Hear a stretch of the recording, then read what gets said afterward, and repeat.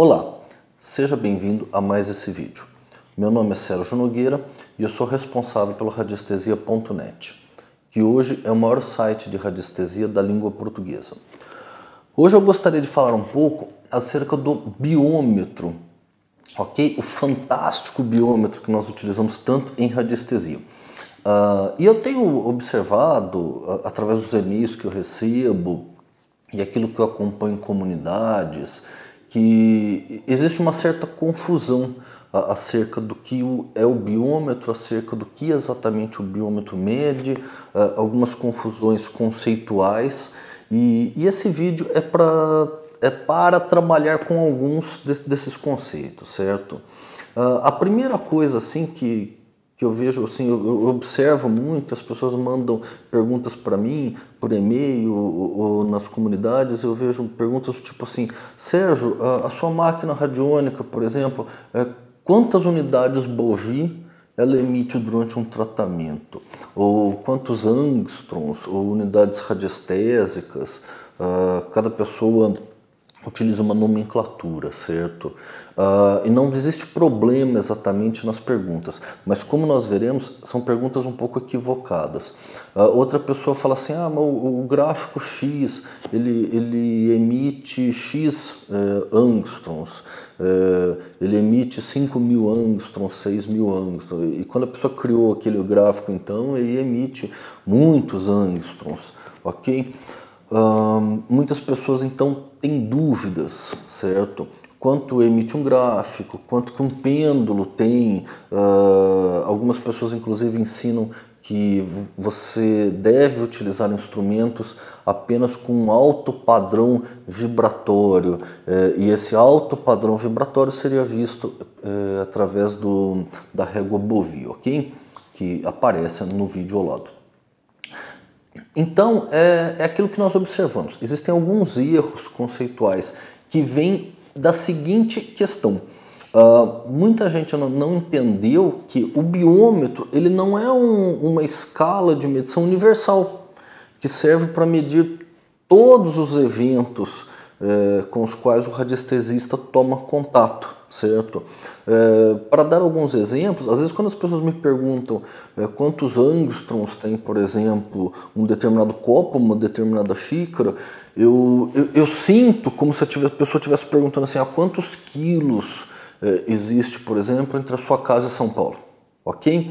Uh, eu, eu, é crível, por exemplo, a pessoa perguntar, Sérgio, é, qual o tempo de distância entre a sua casa e o centro de São Paulo? Ou quantos quilômetros de, de distância? É, são parâmetros de medição que permite a pessoa ter algumas informações. Aliás, medição serve para isso, para obtermos informações, ok? Agora, você imagina se eu perguntasse, por exemplo, quantos quilos existe entre a sua casa e o centro do seu estado, por exemplo? Ou qual a altura entre a sua casa e o centro do seu estado ou centro do país. Uh, o erro é que a altura, no caso, ou peso, não, não é a unidade de medida adequada para o que se quer saber, ok? Uh, então, a, a boa parte da confusão vem disso, da pessoa não entender que o biômetro ele não é um sistema universal que serve para qualquer parâmetro de medição ok? Uh, o que, que, exatamente o biômetro mede?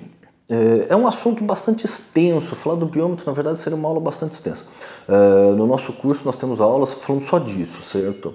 Mas, em princípio, nós podemos dizer assim de uma maneira muito simples uh, que o biômetro, a grosso modo, ele não mede a quantidade de nada certo? Uh, então muitas pessoas imaginam que o biômetro ele meça uma, ele, ele uma coisa quantitativa, ok? Um sistema quantitativo e, e o biômetro não é. Na verdade, o biômetro é um sistema qualitativo, ok?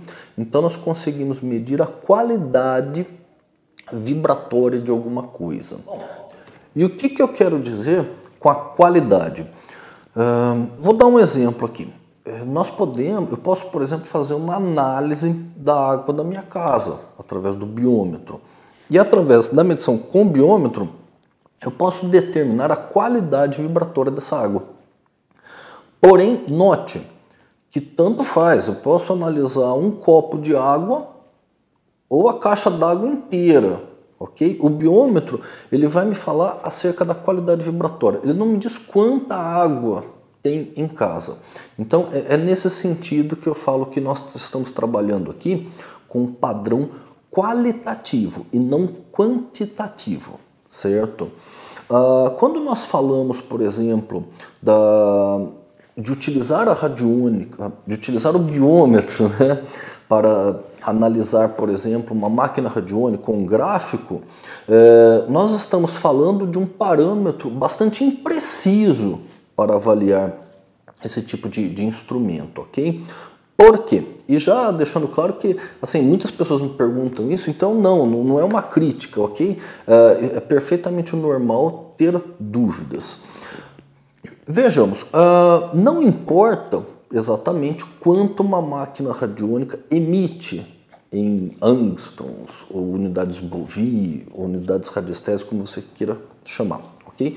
O que importa, basicamente, é o, o estado da pessoa, uh, do sistema tratado, ou do chakra tratado antes e depois do tratamento, ok? E para avaliarmos isto, nós podemos utilizar o biômetro ou outras escalas de medição. Mas note que o importante nesse caso é a medição em cima da pessoa e não em cima do instrumento, ok? Não importa se o instrumento supostamente emitiu lá 20 mil ou 30 mil uh, unidades bovi, se no final não tem um resultado sobre a pessoa, se isso não altera o estado da pessoa. Ok? Uh, mas isso não teria que alterar por si só? Não necessariamente, certo?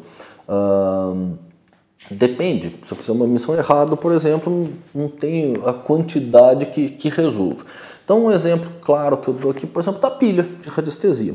Uh, de acordo com os estudos do Belizal, uma pilha ela emite básico, 6.500 unidades de bovino. Ok, e é muito utilizado em tratamento. Então não é questão necessariamente de um maior potencial emissivo que isso não se traduz necessariamente em um instrumento melhor. No caso da pilha, ela é muito boa porque ela tem uma ressonância natural com a célula humana que vibra mais ou menos em, em 6.500 unidades bovino, ok? Naturalmente. Então, esse é um exemplo que eu, que eu dou de como nós podemos utilizar um sistema como o biômetro é, de uma forma equivocada, tá? E para se ter em mente, o biômetro não mede tudo. Nós precisamos, para muitas coisas, utilizar outros sistemas de medição. Como eu disse, o biômetro, por exemplo, não mede uma quantidade, ok? Então, uma pessoa, por exemplo, eu, eu, eu já vi isso acontecer muito, inclusive alunos uh, detectam, por exemplo, uma emoção de mágoa e, e quer medir quantos uh, angstroms uh, está isso, quanto, quanto que deveria e tudo mais. Se eu utilizo o biômetro nesse caso, eu estou utilizando ele para algo que não dá informação nenhuma. Na verdade, por exemplo, uma vez que eu detectei um padrão emocional distorcido, uma simples escala centesimal eh, já me daria uma informação preciosa, por exemplo, qual a intensidade eh, desta emoção. Ok? Ou eu posso perguntar eh, de 0 a 100, por exemplo, o quanto que isso está relacionado ao problema da pessoa. Uh, agora eu medir o índice Bovi dessa emoção, uh, além do problema no caso da, da lógico, né, além do problema lógico da questão, certo? Que muitos dirão que simplesmente você não mede um índice Bovi desse, uh, existe também a questão de que você não tem um, uma informação também adequada. Então o, o, o vídeo é para falar disso, eu espero que você é, pense a respeito. Espero que o vídeo lhe auxilie de alguma forma no seu aprendizado e no seu crescimento. É, se você tem ideia para vídeo, se você gostaria de ter alguma dúvida respondida, por favor, entre em contato. Se você gostou desse vídeo, nos adicione, por favor, curta, compartilhe esse vídeo nas redes sociais, é sempre importante para auxiliar a divulgar o nosso trabalho.